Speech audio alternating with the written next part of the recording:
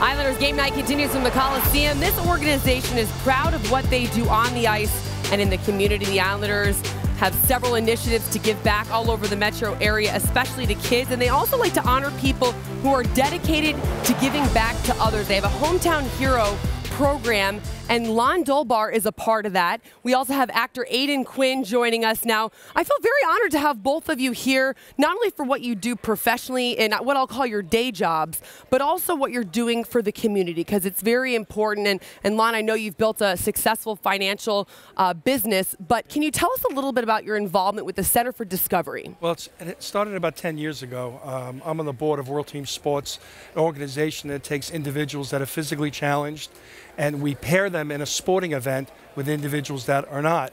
And we do events all around the world, uh, whether it's climbing Kilimanjaro or whether it's climbing a subsidiary peak of Everest. But for 10 years, I've gone up to the Center for Discovery, and we've done an adventure team challenge with their residents who live there and are physically and emotionally challenged. And it's a three day event, and it's life changing. And I bring individuals to come up, put them on the team, and we spend time uh, doing this event and it's life changing. If I enjoy taking people that have ever been around anybody that's physically or emotionally challenged and having them spend days with that person. So maybe after a while they see the humanity of that person and they're not looking so much at how they're different because we're all different. Everybody is different. And I have to say, Aidan, I know that you're on, on the board and, and you're very active at the Center for Discovery. We just saw some video there. The first time I watched some of the video, I had goosebumps because it's amazing to see what we're doing to give back to people who deserve to have an exciting life and, and be part of activities. How did you get involved for the Center for Discovery and why is it so important to you? Well, my daughter, uh, uh, who is profoundly autistic, but she's also, thanks to the Center for Discovery, a profoundly great organic farmer.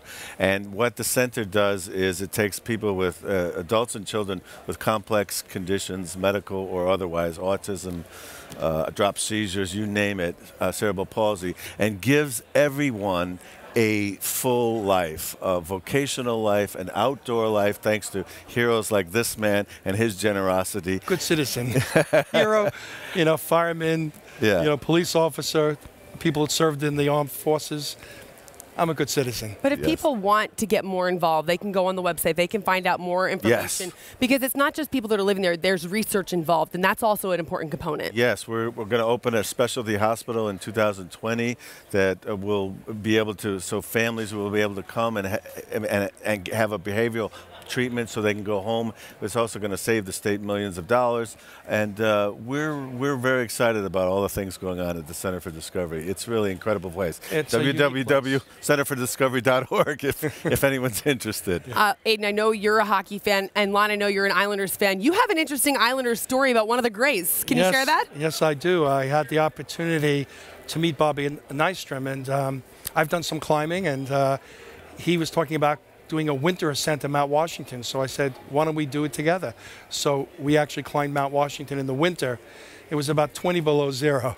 And uh, we made it to the top and got back down. It's amazing. He's I, I, so athletic. He looks like he could still play, right? Oh, uh, when we were in that guide shack and he, he was getting dressed, I was like, I'm in for it now. well, you, have done some amazing climbs. Both of you are doing amazing work in the community outside of your professional careers. You're fantastic in elementary. Love, oh, love watching you. the show. Thank you so much for all you're doing, and, and we're excited that you're going to be honored here with the Islanders, the hometown heroes, something the Islanders have done for many years now, honoring the people in our community that are doing extraordinary things to help other people. A very impressive endeavor.